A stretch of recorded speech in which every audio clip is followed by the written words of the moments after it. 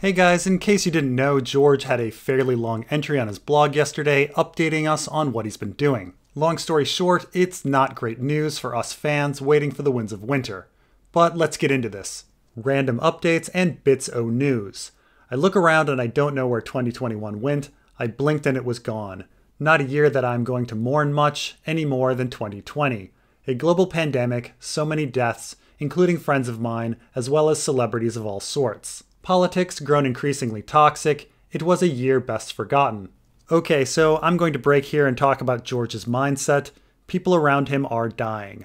George writes a lot about this. I know this is sort of cliche during the pandemic and perhaps in life in general, but I need to bring up one recent death that must have really shaken George. This is John Jose Miller, a sci fi author who died on January 5th of this year at the age of 67 and who was one of George R. Martin's good friends. He wrote a bunch of wildcard stories and even co wrote a wildcards book with George called Dead Man's Hand, the one where Squisher appears. But he wasn't really that successful of an author otherwise.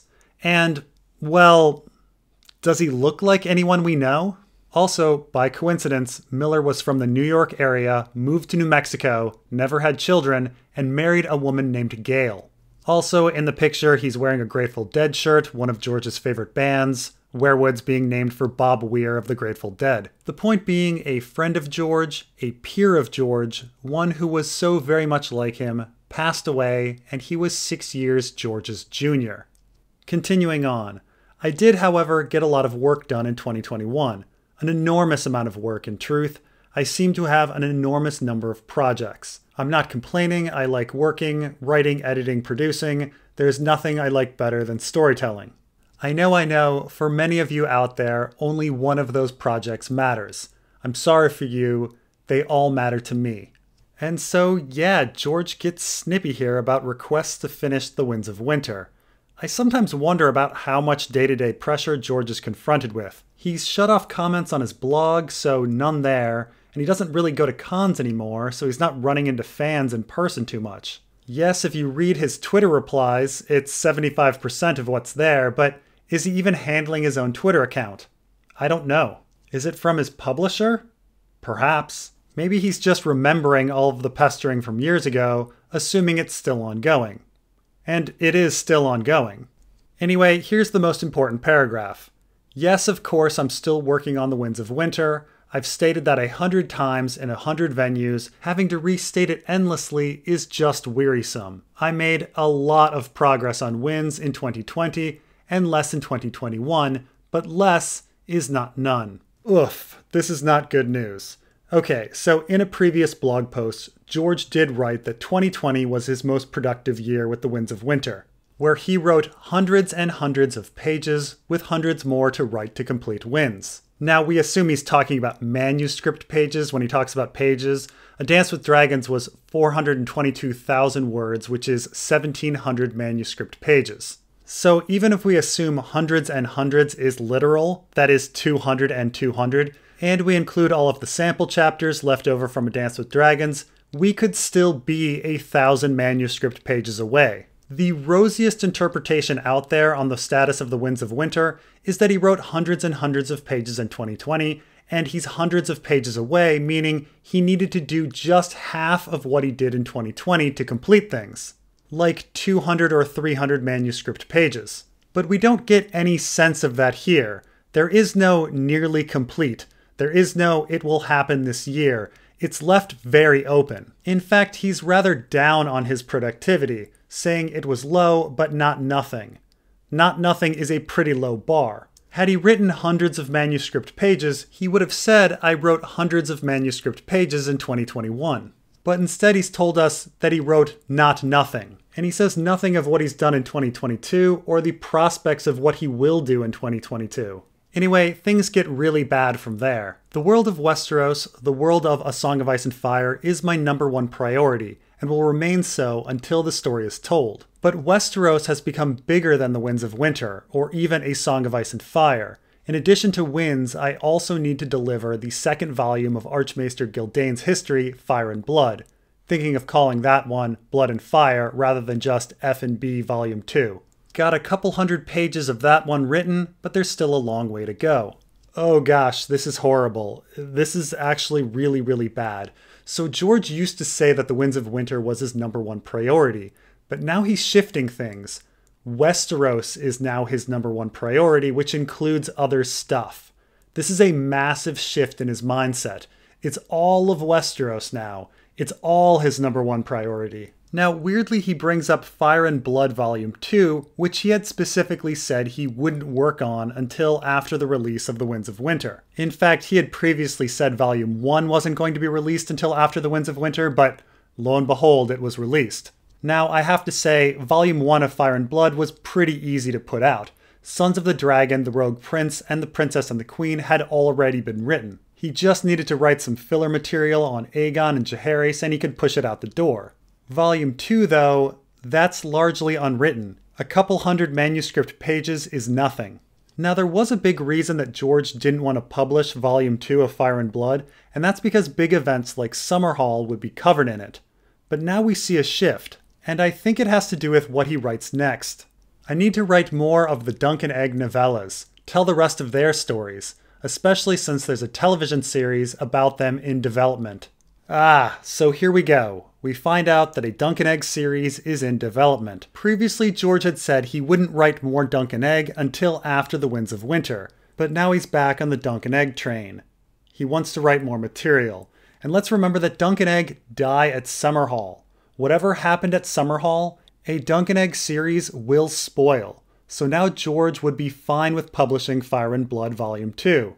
This is why he wants to get back to writing them. It's all tie in material for a Dunk and Egg show. The Winds of Winter, though, that already had a show. There's a lavish coffee table book coming later this year, an illustrated condensed version of Fire and Blood, done with Elio Garcia and Linda Antonsen, my partners on The World of Ice and Fire, and my Fevre River art director, Raya Golden.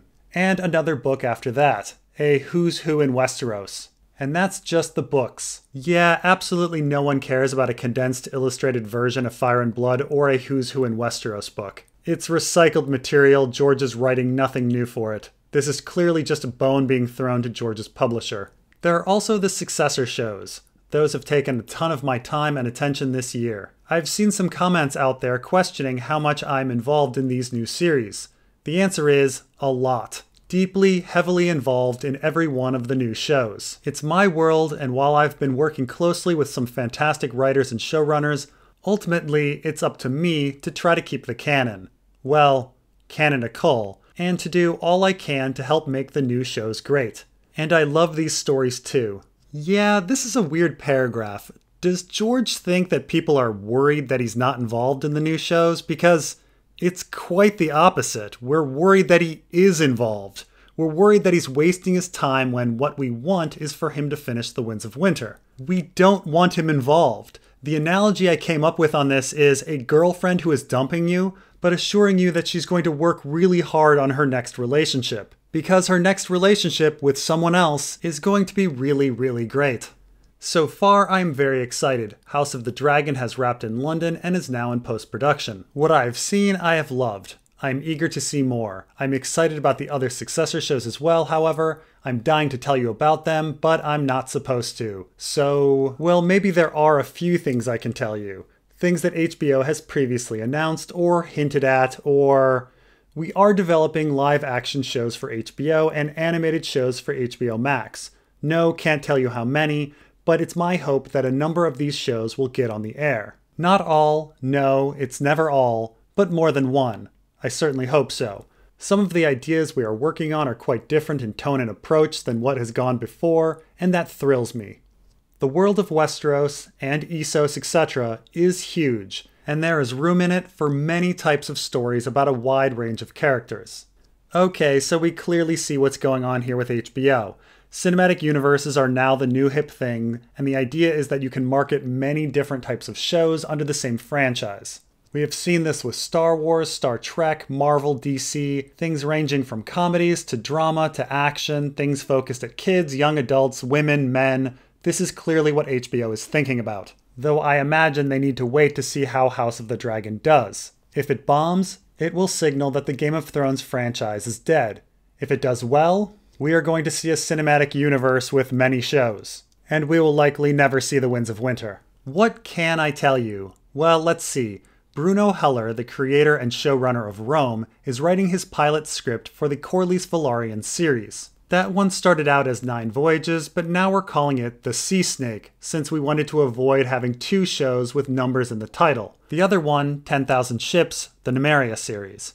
Amanda Segel, our showrunner, has delivered a couple drafts of that one, and we are forging ahead. So yeah, normally I would say a show specifically on Corlys Velaryon doesn't have much of a shot of making it. But Bruno Heller is a huge name in the biz. Rome, The Mentalist, Gotham, Pennyworth, and George felt it necessary to include some random pages shoved in on Corlys in the middle of Fire and Blood, so I guess he thinks the idea has some potential. But again, whether this does well mostly has to do with the success of House of the Dragon. Amanda Segel is also a pretty big name, the good wife, person of interest without a trace, but I just don't see a Nymeria story in a completely different time period, in a completely different location, piquing any interest. I love the Dornish, you love the Dornish, but the average fan doesn't like the Dornish. The third of the live action shows is the Dunk and Egg series, helmed by Steve Conrad. My team and I have had some great sessions with Steve and his team, and we really hit it off. He's determined to do a faithful adaptation of the stories, which is exactly what I want. These characters and stories are very precious to me. The first season will be an adaptation of the first novella, The Hedge Knight. Contrary to what you may have read online, the show will not be called Dunk and Egg, which could be mistaken for a sitcom by viewers unfamiliar with the stories. We're leaning towards A Knight of the Seven Kingdoms for the series title, though The Hedge Knight has its partisans as well. And so we definitely get a sense that this third series has George's full attention. He is focused on a faithful adaptation of precious material, the Dunk and Egg stories, and as I noted earlier, he is suddenly focused on returning to writing them. I can definitely see some parallels here with Game of Thrones. We have a relative unknown, Steve Conrad, trying to do a faithful adaptation. He has material for three seasons, one season for each story, with a promise from George that more are on the way. Writing a Dunk and Egg story should be easier than writing a full novel, though I can see the same thing happening again. On the animated side, well, I'm not allowed to talk about most of what's happening except to say that things are moving very fast, and I love, love, love some of the concept art I'm seeing. And wait, come to think of it, the news leaked several months ago that one of the animated shows would be set in Yi Ti. That's true. Our working title is The Golden Empire, and we have a great young writer on that one too. And I think the art and animation is just going to be beautiful. I would tell you more if I could. I don't think I can say a word about the other animated shows. Not yet.